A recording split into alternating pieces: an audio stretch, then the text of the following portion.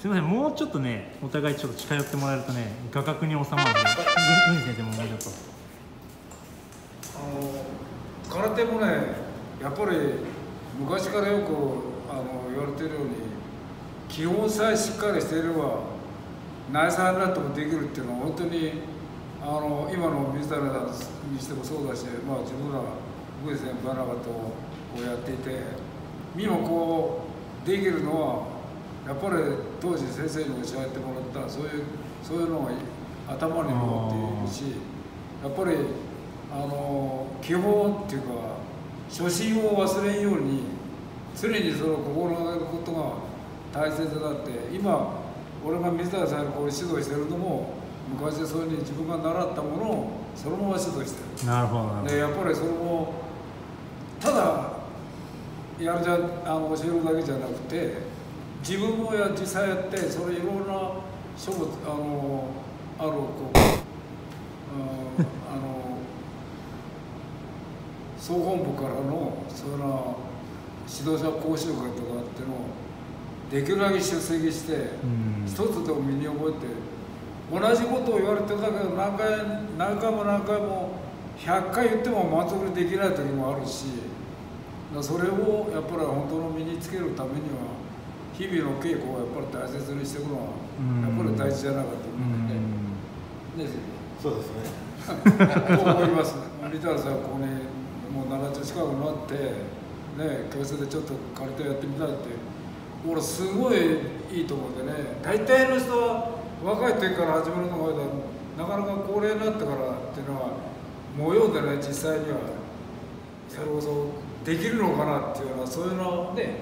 そういうようなことがあると思うんだけどでもそういうことをめげずに水原さんはこうやってるしいい若い人のお手本になると思います。この道場来てもう41年過ぎて、まあ、ちょっとグイ先輩のがちょっと長いけどでも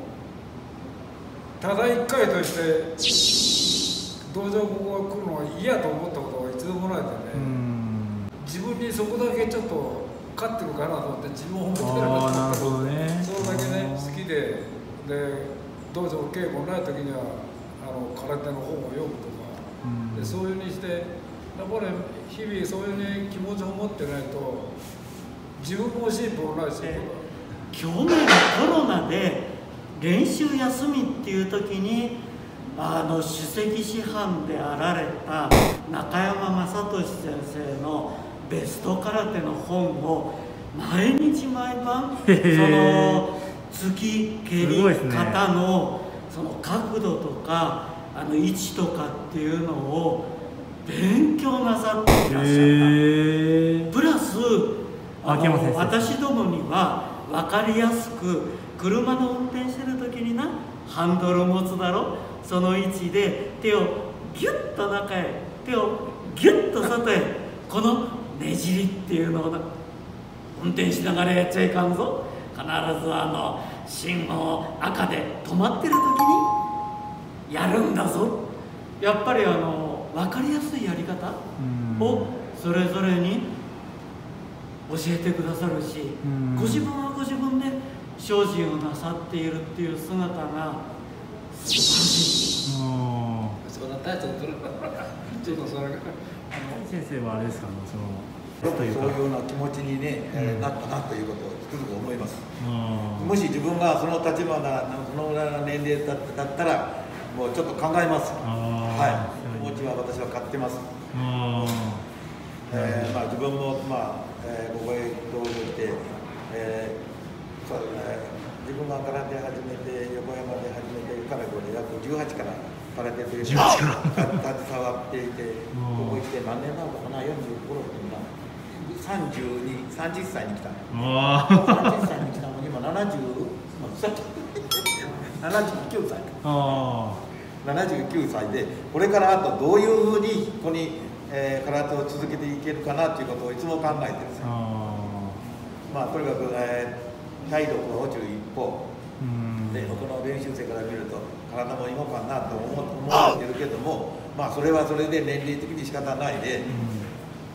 まあとにかくこれからいつまでも続けていけるかなということをいつも考えてるあーなるほど。とにかくそれには体を動かんなりにも、えーここへ来る癖をつまあまあ必ず来る癖をつけて休まないということで。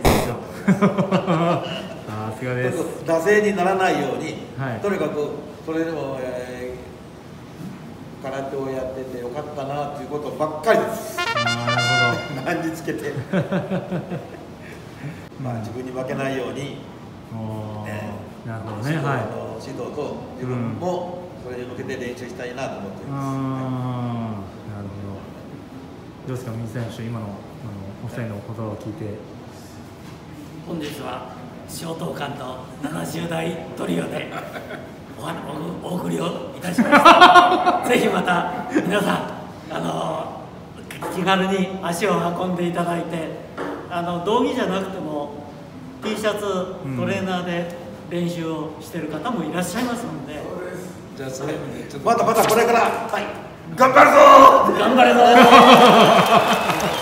はいいいですね。ありがとうございました、はい